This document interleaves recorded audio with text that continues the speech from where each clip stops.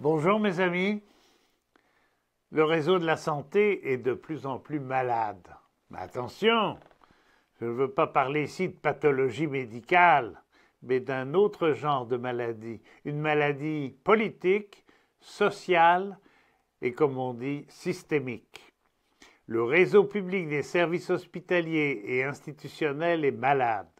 Manque de personnel, surmédicalisation et surfinancement des médecins, mais surtout manque d'infirmières. On en a perdu 4000 depuis le début de la pandémie.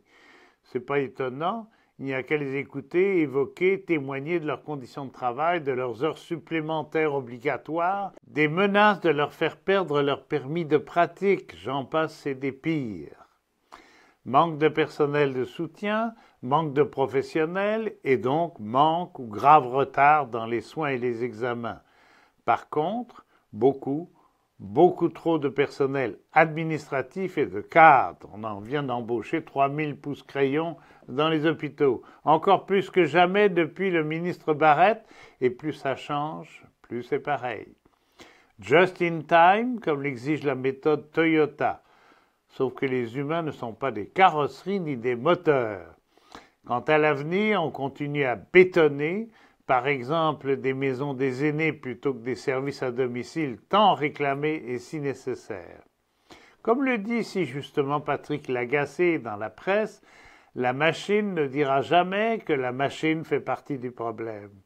La machine, c'est-à-dire la techno-bureaucratie en place dominante, c'est-à-dire le système, les systèmes qui préfèrent les petites cases à remplir aux personnes qui soignent ou à soigner en urgence ou en long séjour.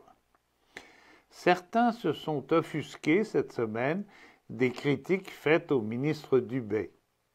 Ce n'est pas en effet une question d'individu, et celui-ci n'a pas plus de défauts qu'un autre et fait des erreurs ou des bons coups comme tout le monde. C'est la machine qui l'écrase, qui nous écrase, le système qui l'étouffe et nous étouffe, la structure qu'il ne peut pas contrôler lui non plus. La machine ou nous, pas les deux. Vous avez droit à un revenu décent. Vous avez droit à un logement abordable. Vous avez droit à des soins à domicile. Vous avez droit à un milieu de vie sécuritaire. La parole est à vous, c'est votre droit.